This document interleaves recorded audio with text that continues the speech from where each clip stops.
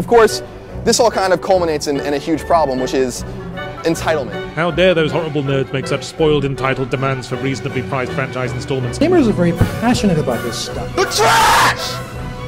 It's the guy! Gamers, you write something that's not right or something that doesn't gel right about something they love. The topic of gamer entitlement has become an increasingly popular debating point. What the fuck? You've been on vacation for a long time. What? What? You've got some people who say that gamers are entitled, spoiled crybabies. The whole series is fantastic. I love playing up to the last fucking five minutes of the third fucking game! Why didn't you like the game, Tyler? Because everything dies! well, not everything dies. But who doesn't die is gay!